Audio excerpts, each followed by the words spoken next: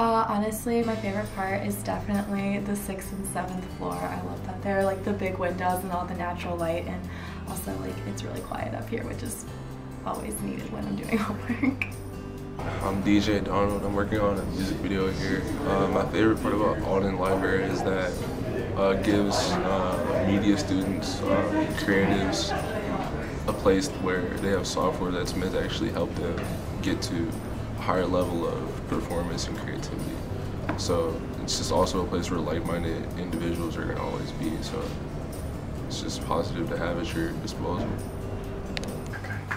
I'm Ryan Smith. I'm a doctorate of physical therapy student here at Ohio University.